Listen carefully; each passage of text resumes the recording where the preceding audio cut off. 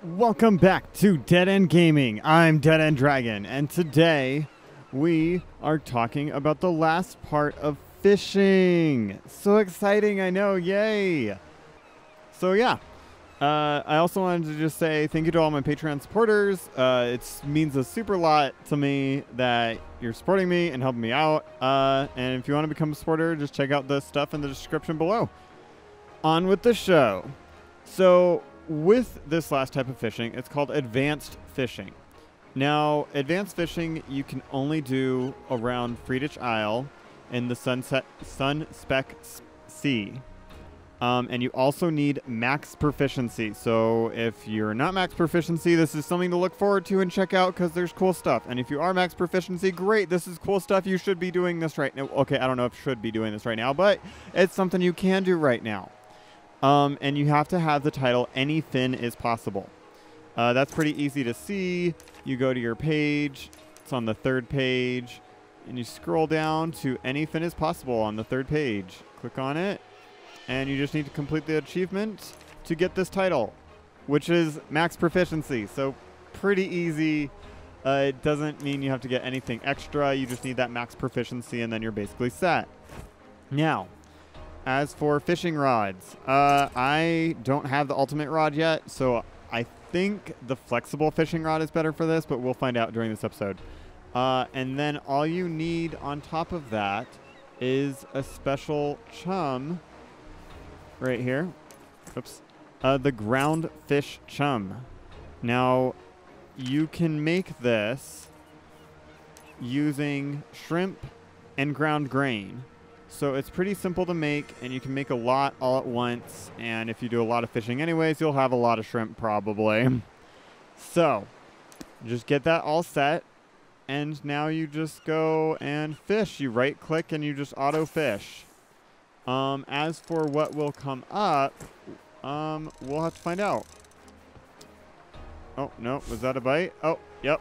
We get these big belly fish. Um, they're kind of unique as the fact of they've got something else to them. And if I remember correctly, uh, and you'll, no you'll notice the fishing time takes a lot longer too. Uh, the interesting thing I find about the big belly fish is, if I remember correctly, it's like the only fish you can get by doing this. Um, you don't get any other fish to my knowledge, not from what I've seen or anything. You just get these big belly fish. And this belly of a fish is bulging as if it swallowed something whole. Who knows, excuse me, who knows what would spill out of it if it was cut open? Okay, so we're going to open up these fish and see what's inside. Um, so give me a moment. Let me just jump in time and I'll get to when I've got a bunch of these fish in my inventory and we'll start opening. Oh, and I also forgot to mention, uh, right in here, the Sunspeck Sea. You just need to be kind of somewhere in the Freedich Isle. I think you really just need to be in the Sunspeck Sea. That is located in the center here. And then in the Arcadian Sea. And then this is its own area. You can't just be anywhere in here. You need to be right by Freedich Isle. And have that on the map. And it has to be on your mini map over here. Um, where, I think as long as you're in this triangle of some sorts, you should be fine. And we're finished.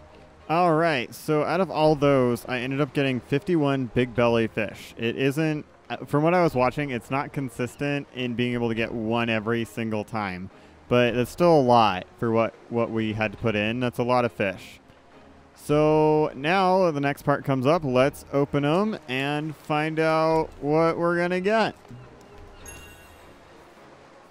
So we got Clubhead Spore. So exciting, right?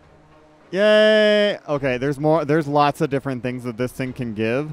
So let me use a potion real quick so I got enough flavor. And let me open these real quick and I'll get right back to you.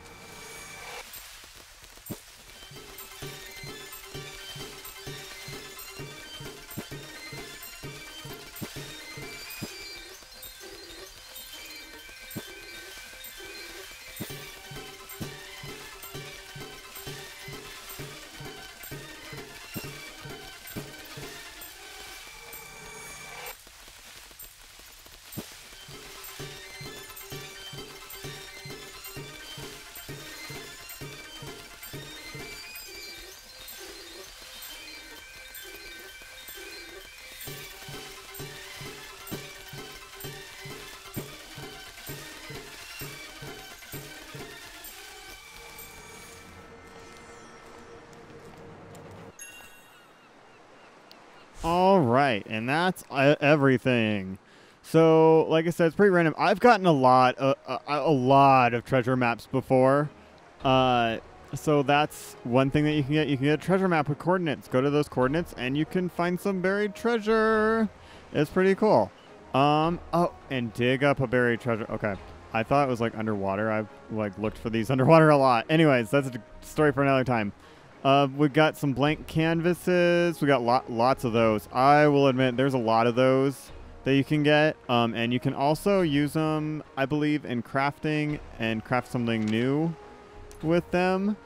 And you can just use them for a lot of different stuff. Yeah, see, you can use them for an animated frame or the round empty frame. You can do a couple things, or you can just use it for, for what it is, blank canvas, and put a crest stamp on it.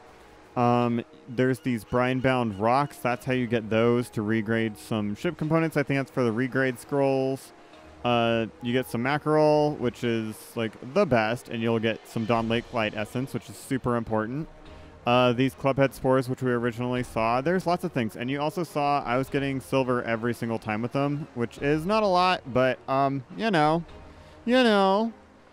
Um, so yeah, uh, for what we put into it, I feel like it's well worth it to get back out for for what you get back out of it, uh, gold wise. And like I said, you can just sell these on the auction house. I believe there's lots of other stuff there. You can also sell the treasure maps on the auction house.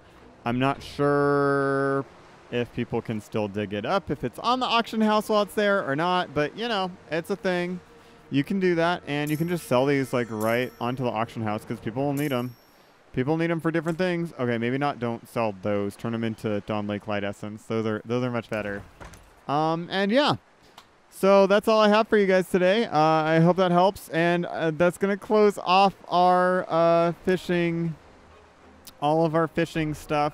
Which I'm sorry, but that's all we got right now for fishing, unless they do another update, or if there's something in the update that I haven't seen, or Maybe I haven't seen everything. If you guys know of something, let me know.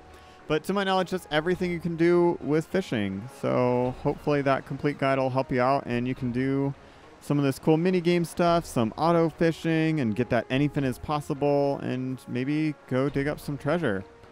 Be some lots of fun. Maybe that's what I should do next. Fishing hasn't died yet. We need to go dig up some treasure. Uh, so maybe we'll look forward to that in a video in the in the far future. I got some more plans and I gotta get some exploration videos out for you guys. But yeah, if you like the video, don't forget to like it. Let me know you want to see more content like this, and subscribe because I'm still trying to get more content going. It's been a couple weeks off, but we're we're back, and uh, I'm gonna get stuff going, and I'm getting that working on. Uh, and yeah, leave a comment. Let me know what's your favorite type of fishing. Do you just like to do the plain auto fishing and just do some auto casting while you're at your home base? Do you like to do the sport fishing and do the little mini game and go out uh, and find all the fish at the sea? Or do you like to be inland and do that? Or is your favorite type the advanced fishing, getting those big fish and, and seeing if you can get something really cool? Uh, because there you can get better treasure maps than this. You can get super rare treasure maps, and like I said, I don't know what these contain. So, do you like doing that and going treasure hunting? Let me know in the comments below, and I will see you all next time.